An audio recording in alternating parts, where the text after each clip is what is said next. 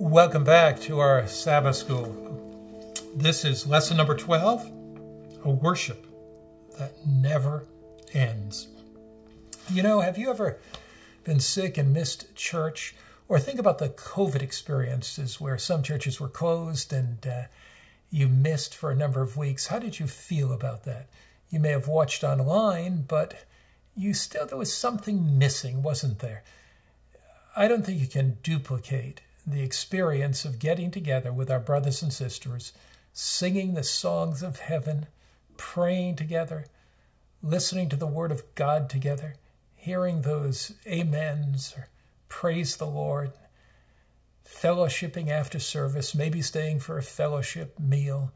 That there's something about corporate worship that inspires the heart, that lifts the spirits, that leads us closer to the Savior. Now, there are times, of course, when people are sick and they can't make it to church, or times when the elderly cannot make it. And I think at those times, for church members to visit, to share the blessings of, of, of heaven. We are going to look this week at uh, Lesson 12 Worship That Never Ends. Our memory text is Psalm 104, verse 33. Psalm 104, verse 33. And the memory verse says this powerful verse I will sing to the Lord as long as I live. I will sing praise to my God while I have my being. I will sing to the Lord as what? As long as I live. We were made as worshiping beings. We were made to praise God, made to give Him thanksgiving. You know, we did not choose to live. We were brought into existence by a God that loves us, that cares for us, by a God that has a purpose for our life. In our Sabbath afternoon's lesson, uh, the last paragraph on the page brings out a beautiful thought about, about praising God. It says, praising the Lord in the congregation is perceived as ideal worship. This does not mean that prayer and praise of the individual in Israel assume a secondary meaning. By contrast, the individual's worship of God feeds the communal worship with renewed praise, while in turn individual worship develops its fullest potential in close relationship with the community. There's a lot to unpack there, isn't there? Individual worship finds its fullest potential in close relationship with the community. As we worship together corporately, as we come to church every Sabbath and praise God, it fills our hearts with such love and grace. It fills our hearts with such a sense of His presence that throughout the week, our individual worship is fueled inspired, encouraged, deepened by what happened on Sabbath. Sunday's lesson is entitled Lift Up Your Hands to the Sanctuary. So, what do we see there in Psalm 134? Well, what, what do we find in Psalm 134 about worship, praise? Let's look at some of the words that are used in Psalm 134. Behold, bless the Lord, all you servants of the Lord. So, one thing we're seeing is bless the Lord. What does it mean to bless the Lord? Jesus has everything except my worship. My worship must be voluntary. You know, Psalm says the silver and gold is, or Haggai says the silver and gold is mine, says the Lord. Psalm says that uh, the beasts of the forest are his, the cattle on 10,000 hills are his, he owns the world. Psalm 19, 1, Psalm 19 the, the earth is the Lord's and all the fullness in it. He has everything. But He doesn't have our worship unless we give it to Him voluntarily. So, what does it mean to bless the Lord? It means that we come praising His name because of His goodness and grace and mercy toward us. Bless the Lord, Psalm 134. Verse 1 Bless the Lord, all you his servants of the Lord, who by night stand in the house of the Lord. Lift up your hands to the sanctuary and bless the Lord. what is this idea of lifting up your hands? What's, what's that represent? It represents, it's the expression of giving him the fullness of my being, giving him everything that I have. It's the idea of empty hands, of sacrifice, surrender, commitment, dedication. That's the idea here behind this. And lift up your hands in the sanctuary, bless the Lord. The Lord who made heaven and earth, bless you from Zion. So we bless the Lord by worshiping him because we give to him that which he does not have unless we voluntarily offer it. And um, if you look at Psalm 18, Psalm 36, Psalm 113, you find those in Sunday's lesson. They're talking about all the different results of blessing the Lord.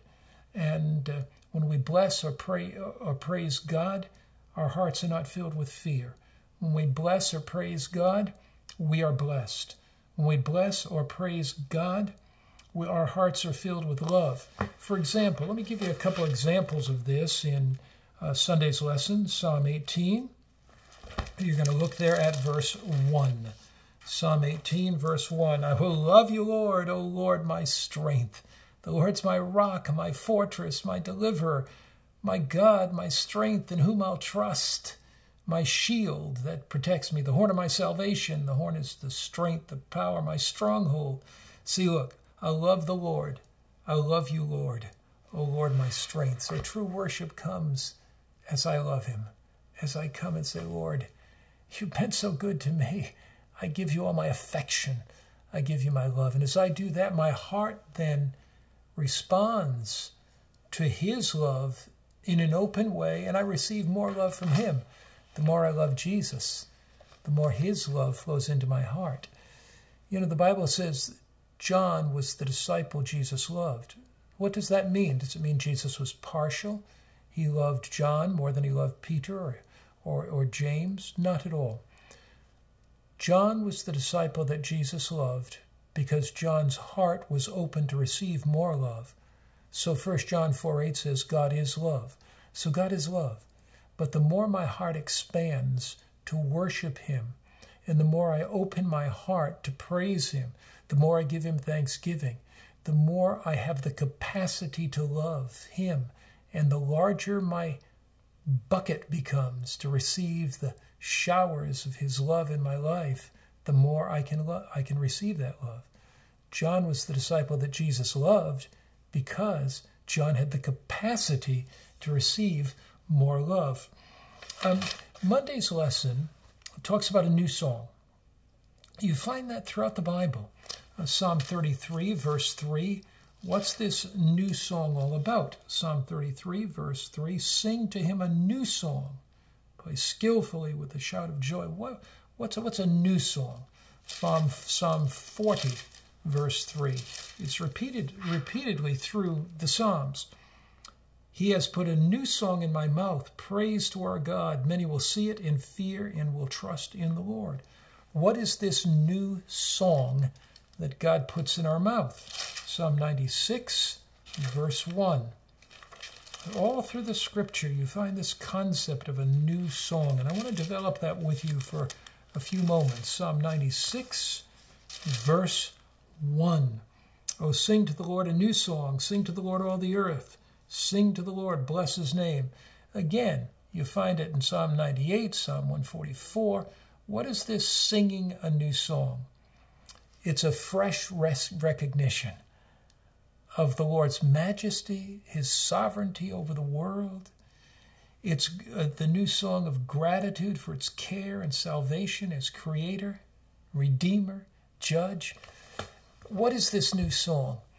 It's a new recognition of His grace, His goodness, and His glory.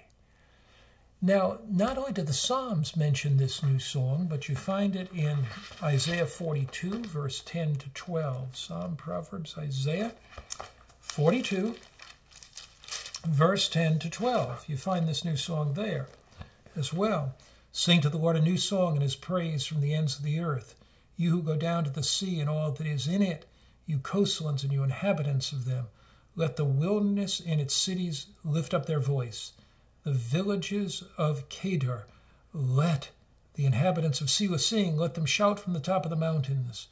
Let them give glory to the Lord and declare his praise. So, what is this new song about? It's the song of the knowledge of Christ, the song of the goodness of Christ, the song of the redemption of Christ, the song of the power of Christ, the song of the hope that we have in Christ. The new song has to do with a new experience with Jesus, who changes our lives, who transforms us into the image of the living God. In Psalm 43, verse 19, rather Isaiah 43, we've been in Psalm so much, my mind is locked there. Isaiah 43, verse 19, Behold, I will do a new thing, now it shall bring forth. Shall you not know it? I'll even make a road in the wilderness and rivers in the desert. I will do a new thing. The new song is the new thing. God wants you to sing a new song. He wants you to be so filled with His love, so charmed with His grace, so redeemed by His power, that your heart is just filled with His love, and in your life, you sing a new song. There's a sparkle in your eyes, a smile on your face.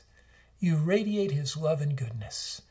And in Christ, through Christ, because of Christ, you sing the new song. He's saying, The new song is the new thing I want to do in your life. I don't want you to have a formal religion. I don't want you to have worship just because it's some legalistic requirement. I don't want your life to be filled with rituals of worship, but I want to do a new thing in your life. I want you to Christian experience to be warm and fresh and new and vital. I will do a new thing.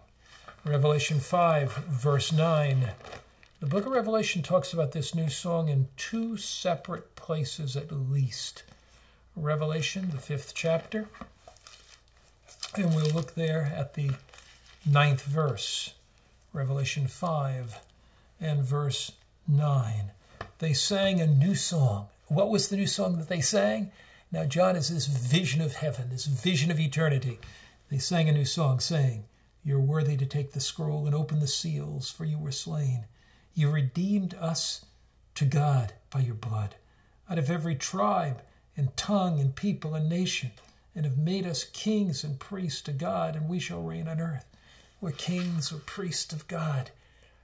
Kings, we have royal blood flowing in our veins. Jesus has taken us from the guttermost to the uttermost, from the depths of despair to the delights of discipleship. He's made us kings. We're part of the royal family of God princes and princes to sit with him forever. He, and then it says, He's made us priests. We represent him on earth. We sing the new song of his grace, of his good. What is that news of his goodness? What's the new song? You were slain and redeemed us to God by your blood. That's his new song. Revelation 14, verse 3.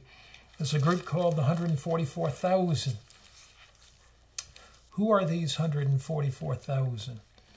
They are men and women who have been redeemed from the earth. And what does the Bible say? They sang a new song. They sang a new song. It is the song of their unique experience. They've gone through the time of Jacob's trouble. They've gone through a time when there has been no intercessor in the sanctuary above. What does that mean? It means that he that is righteous, let him be righteous still, and he that is unrighteous, let him be unrighteous still. He that is holy, let him be holy still, and he that is unholy, let him be unholy still. He that is filthy, let him be filthy still. He that is clean, let him be clean still.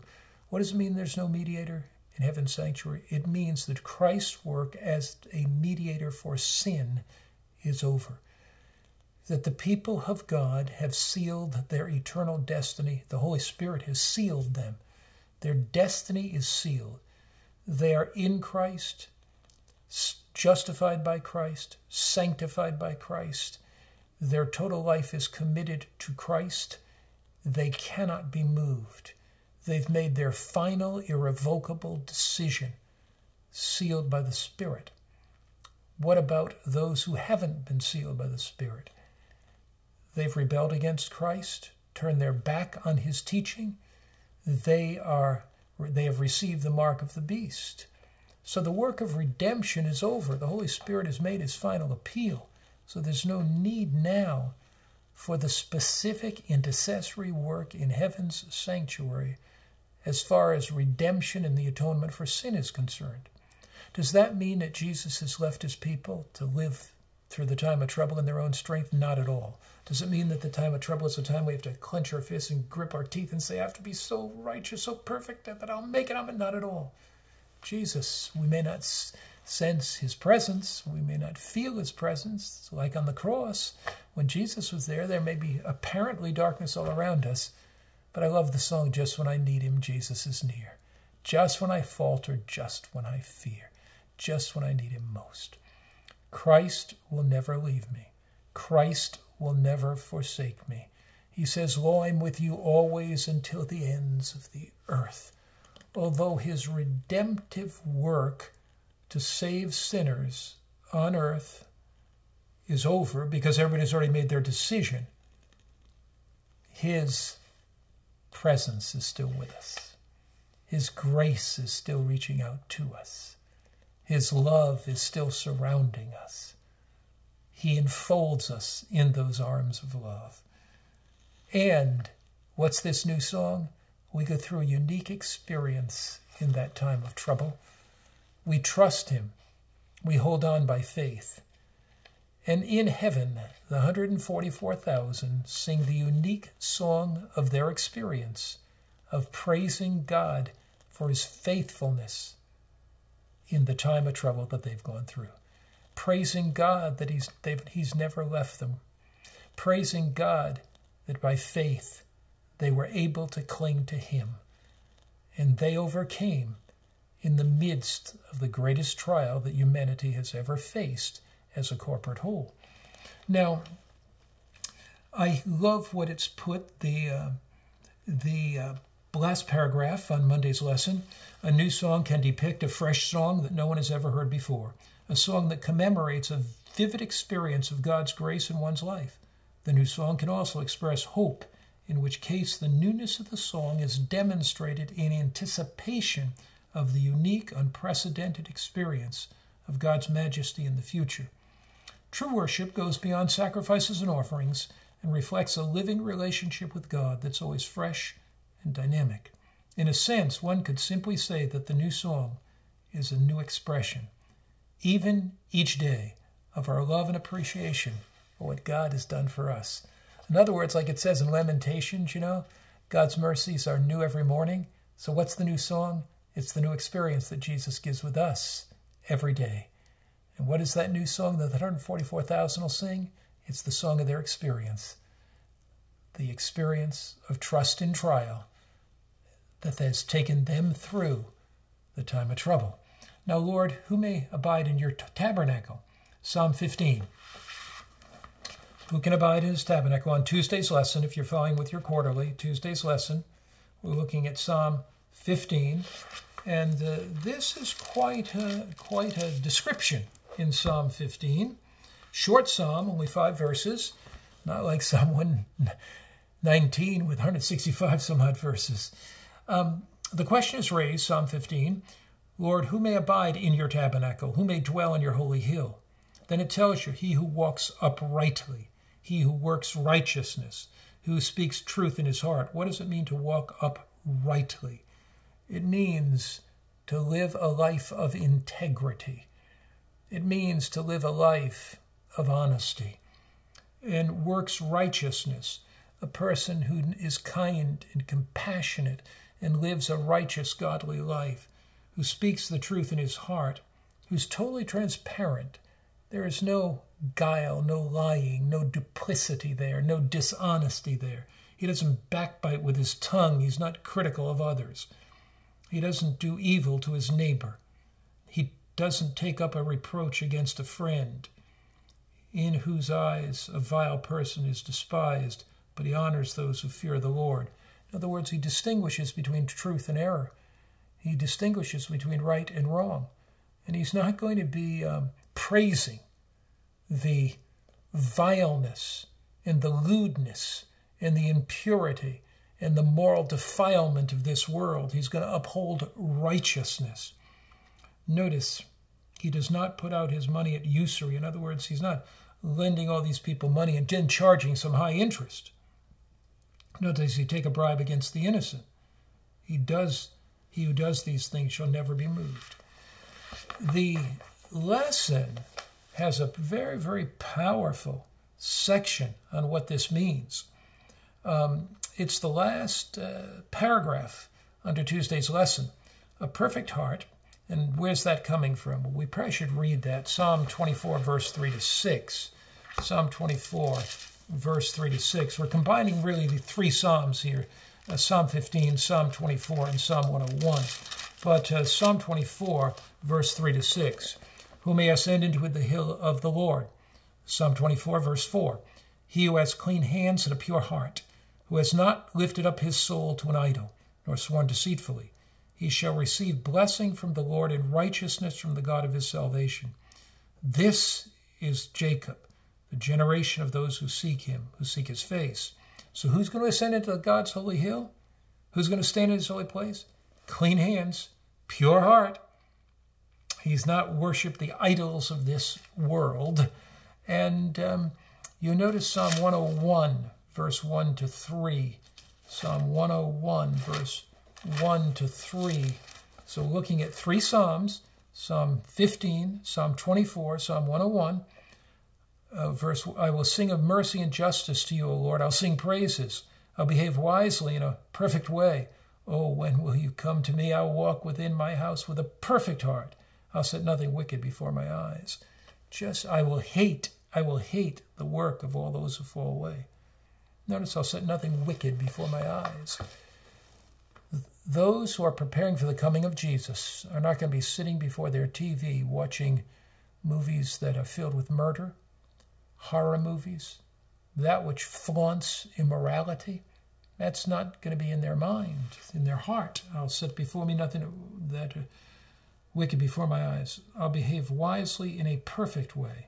I'll walk within my house with a perfect heart. What is this perfect heart? Sometimes there are those who talk about perfection. What do we mean? What does the Bible mean when it talks about a perfect heart? Does that mean that um, we'll never fail? never make a mistake? What does it mean? I like the way the author puts it here. A perfect heart is the worshiper's greatest quality before God. The word the Hebrew word tamim, perfect, conveys the notion of completeness and wholeness. A perfect vine is whole, undamaged and healthy. Animals offered as sacrifices had to be tamim or without blemish. Perfect speech is entirely truthful.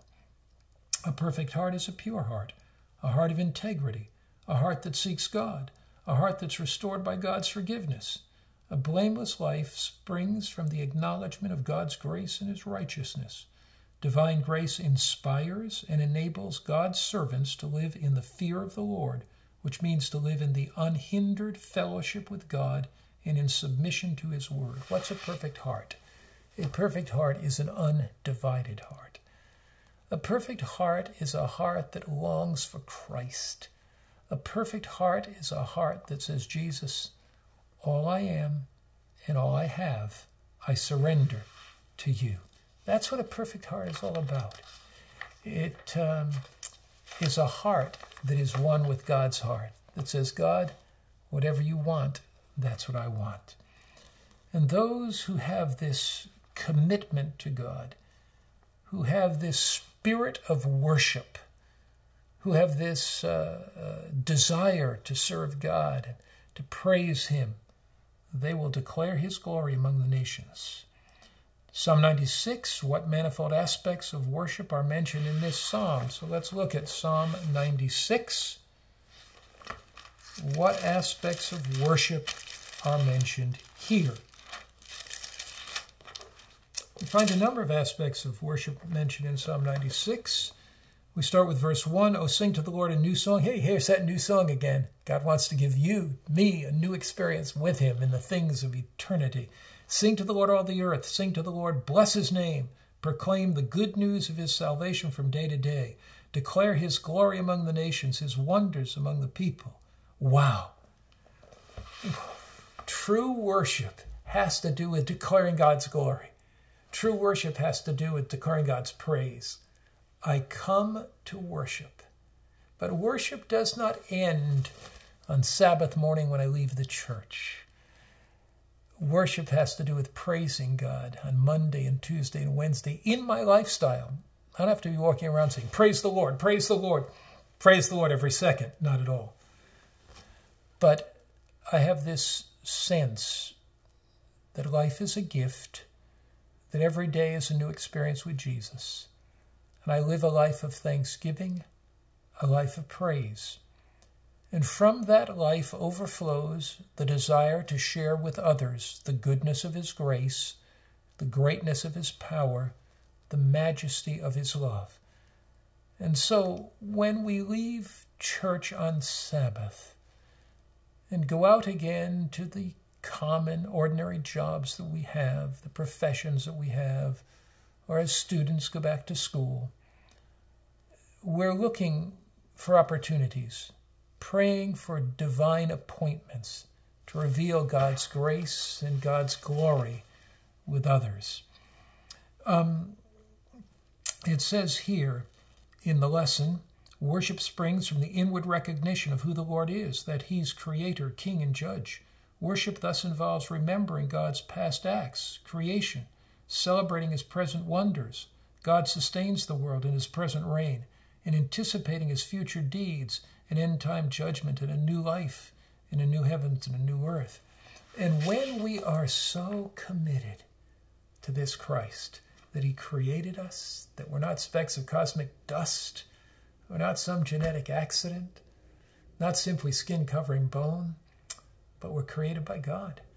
When we have that sense, when we have the sense that, that He plunged into this snake pit of the world and redeemed us, justifies by us by his blood, cleanses us by his power. When, when we have that sense, and when we have the sense that he's coming again, and that fills our heart every week as we worship him, and as we learn to sing the new song, the song of his glory and grace, we want to share that glory, share that grace that he's given us with others, so we become his witnesses in the world. Uh, look at verse 10 of Psalm 96. Psalm verse 10 Say among the nations, The Lord reigns. The world also is firmly established. It shall not be moved. He shall judge his peoples rightly. Say among the nations. David found something so good, so large, so great. He found a God of might and majesty, a sovereign God who was in control even when the world seemed to be out of control all he could do was say, Say among the nations, the Lord reigns. That's our, that's our message. The Lord reigns. This world is not chaotically out of control, but the Lord reigns. This world is not headed on collision course to disaster. No nuclear war is going to blow this world apart as some spinning globe of ash. But the Lord reigns, and He's going to set all things right.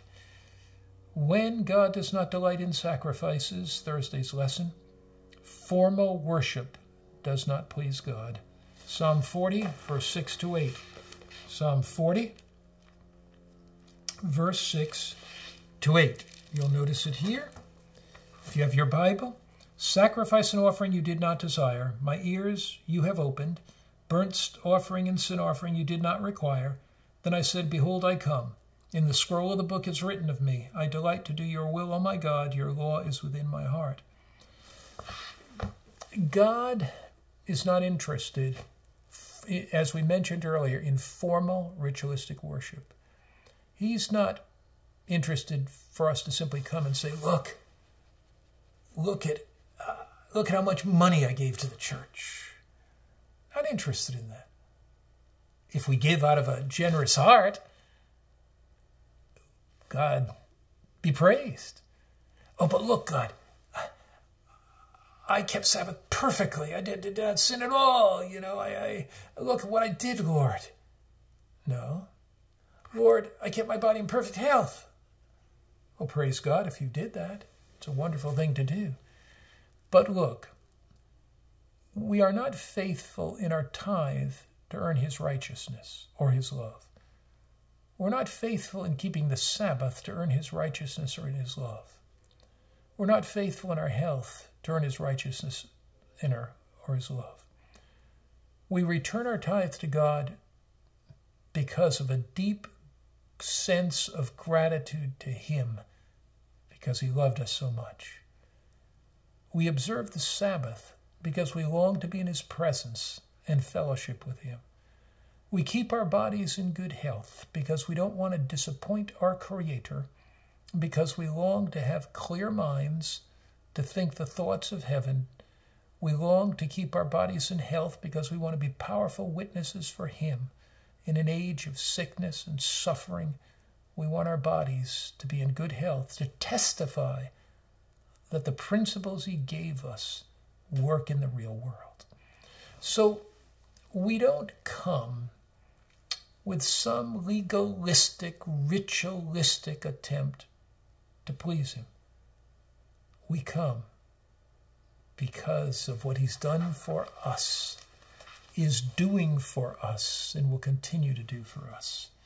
We come praising His name, honoring Him, worshiping Him, worshiping Him in spirit and worshiping Him in truth. That's what Scripture says. Worship Him in spirit and in truth. To worship Him in spirit means to worship Him with your whole heart, your whole life, your whole being. To worship Him in truth means you worship Him in harmony with Scripture. Would you like to open your heart? Say, Jesus, I want to come to you with a perfect heart. I want you to cleanse me of all self, any taint of sin Anything that's in me that's not in harmony with your will, Lord, cleanse it. And I long, Lord, in addition to that, to sing a new song. To day by day have a new experience with you. An experience of freshness, an experience in prayer, experience in your word. Psalm, this lesson, lesson 12 in the Psalms, is calling us to sing a new song. It's calling us to have a new experience. It's calling us to experience a vitality and a freshness in our Christian life. Let's open our hearts for that as we pray. Father in heaven, thank you for your love and your goodness. Thank you for your grace and your mercy. Thank you that you call us to have undivided hearts. Thank you that you call us to sing a new song of your love. In Jesus' name, amen.